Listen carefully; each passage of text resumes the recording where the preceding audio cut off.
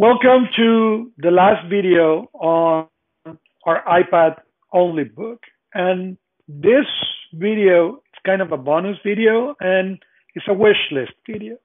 It's a wish list of what we wish the iPad do, software wise, hardware wise, and maybe what iOS 7, who will be announced next week, based on the time we're recording this video, will bring. This video may bring a lot of accurate things or will bring a lot of things that will never happen.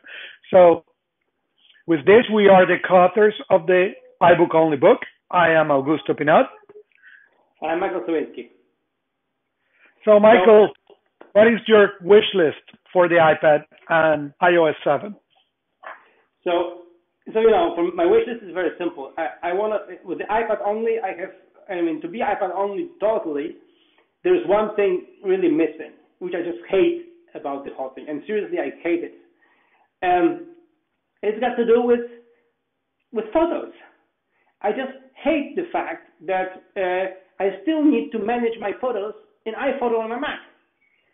That you know, it, it, it's a pain. I mean, seriously, Apple. I mean, just get. I mean, PhotoStream is not a solution. Let me repeat that. PhotoStream is not a solution. It's nice to have, but I don't care. I want to make, make sure that I can arrange photos on my iPad in albums, and these albums sync with all of my devices, and they're there, and that's it. How hard can it be? Seriously. And what happens I agree now, with you. What happens now is that I have to go to my Mac, get my get through PhotoStream, get all of my photos, and then on my Mac I need to be ordering photos to albums and and and then what? I don't. I, I cannot sync these albums back. I will have to you know copy or whatever. It, this is stupid. The photo management is the missing link for me. Yeah, I agree with you. I want to see iCloud photo management, and I'm fine to pay for the extra monthly year fee to have a lot of space so I can have all my pictures there.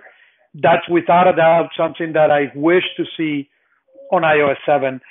I don't know PhotoStream is not the solution for that, but PhotoStream can do incredible things. We have grandparents in a list for PhotoStream, and it's great because I take the pictures, send it to the PhotoStream, and I know they get them, and I don't need to send them separate pictures or anything. So I love PhotoStream for that, but it's just not a final solution for yeah, managing but, that. But, it's, but, it's, yes, but it's a stream.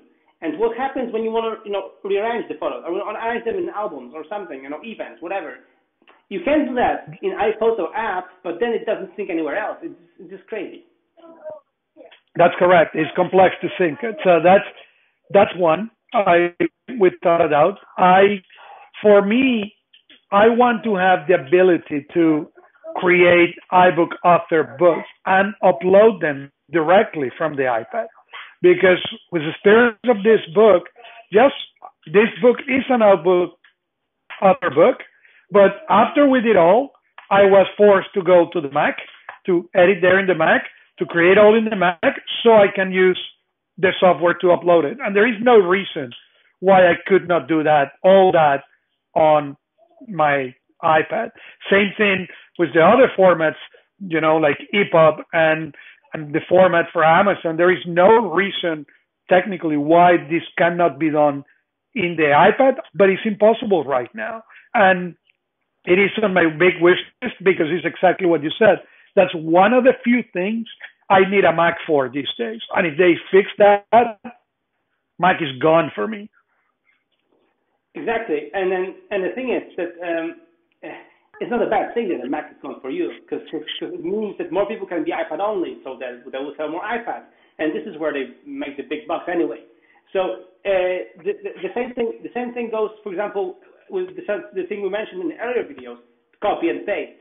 This is a big wishful thinking because they haven't solved the copy and paste in 20 years on the PC. So, but I'm still hoping they will do a native copy and paste with history on the on the iPad on the iOS at some point.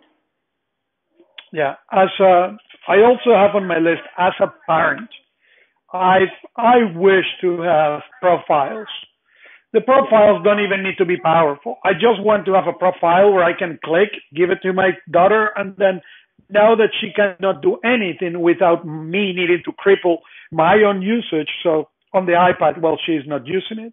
It will be so easy to fix if I can get a profile, even if I can get a profile that I can limit the time so she can use the iPad freely. And when she reach whatever time I pick, you know, the iPad will log and say, sorry, you just use your 45 minutes of iPad a day without me needing to be monitoring and paying all that much attention to that.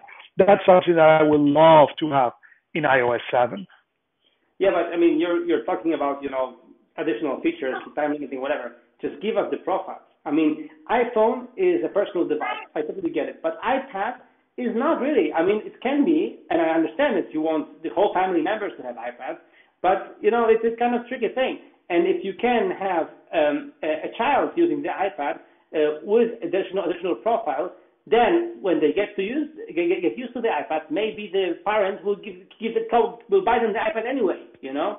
But the thing is that, as you said, we have to limit our usage to make sure that the children don't spoil our things, you know, that we have installed on the on the on the devices. So, uh, totally right. The profiles are really needed there. Yeah, from from the iPad point of view, really, I just wish a retina display for this little thing, oh, that would be magical. That's really, again, one of those wish things that I would love to to have because I think it will bring, it will make this iPad Mini even more powerful than what it is already. Yeah, totally, totally. iPad Mini with Retina display would be would be perfect. Would be perfect. Yeah, I would want the the, the hardware wise. I would want the iPad, the big iPad, to be even lighter and then, then uh, the the battery life 10, 10 hours. I want to keep it. I don't want to have it, you know, more. I don't care. 10 hours is fine. I would like to have it just a little bit lighter, if, if, if it's possible, and and and especially the charge time. It, it would be so cool if they finally improve the charge time. I know it's you know it's a difficult thing. I but I know that there there are, there are people working on this technology to really charge them quicker. You know, because it takes so much time to charge. Yeah, it is it is part of the wish list that that I have. It's I don't know if I'm going to get one or zero of those wish, but there is no much many things I wish for my iPad only experience out of this hardware or software more than these two or three things. So yeah, I hope. Let's see how many I get next week. Yeah, exactly. Because same here. I mean, the the developers are already doing great jobs, So the apps are getting better and better and better. And just to you know to finish it up, I would like to you know give the comparison because what we said that we chose the title of the book to be iPad only, not tablet only, because what we believe is that on the Android platform or Surface platform, the, the, the you know the, the the software is not there, but but the software is there on the iPad. And people who said that iPad is just a bigger iPod Touch, it's not true because it's like the, the, the comparison is like a jacuzzi and a swimming pool. And if you would say the swimming pool is just a bigger jacuzzi, well, mm, yeah, but you can do so much more, so many more things in the big swimming pool than you cannot do on, in you know in jacuzzi, right? Yeah, it is. The people continue thinking that the iPad is just a big iPod Touch or a big iPhone without that phone. They just really have not yet got over their own limitations on the PC side. And they are trying, the reason they don't see it, as we said at one of these videos at the beginning, is because they are trying to apply their own beliefs on their own belief on what the PC should work and how it should work to their iPad. And that will never work. It's a different experience. It's a powerful one if you are willing to work with it and you are willing to to change your workflows. And you will discover that even the workflows that are set that have been solid for months even those can be improved in a minute notice as you and i experienced more than once during this book. So again get the details in the ipad only book. Uh, it's available on you know everywhere on amazon everywhere else.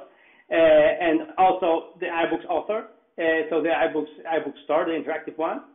And uh, let, us know what you think. Give us, you know, give us a ping on our website and on our, you know, Twitter and just you know stay in touch. And I'm hoping that you know we are hoping that you get you know at least half of what we what we what we what we're trying to to to to, to get here, and then you're you're trying to uh, that, you, that you manage to you know implement at least half of, our of our tips and tricks.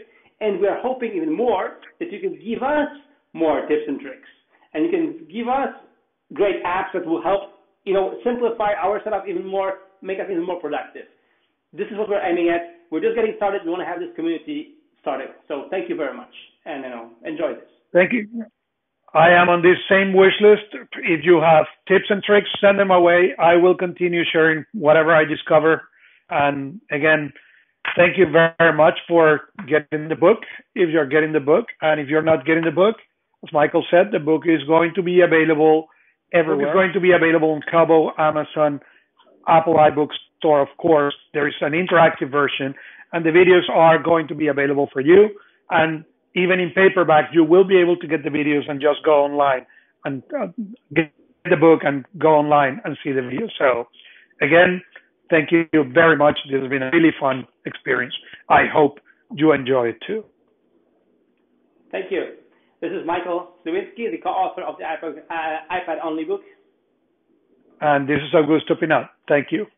Thank you.